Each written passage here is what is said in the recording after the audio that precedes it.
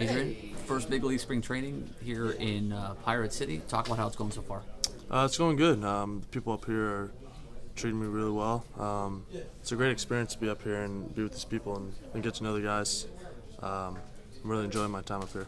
Getting to pitch in some big league spring training games for the first time. You're telling me that uh, you got to pitch night game down at Yankee Stadium. We're down at George M. Steinbrenner Field down over in Tampa. How's that going? Or how was that? Oh, it was cool. I mean, it was it was kind of you don't really think about who you're facing up there, but afterwards, uh, my dad, my mom texted me and said, "Hey, guess like look who you faced." I mean, these guys have been in the show for a lot of years, and I mean, facing those guys was cool. I mean, it was, it was a good experience.